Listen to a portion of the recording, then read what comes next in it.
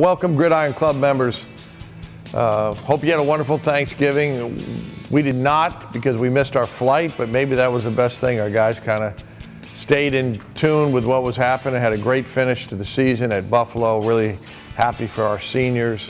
Really happy for Marquis Young was named MAC Athlete of the Week with 240 yards rushing. His future looks very bright. A lot of good things from the last part of the year. We won two of our last three games, but I just thought the attitude was going to carry over into this offseason.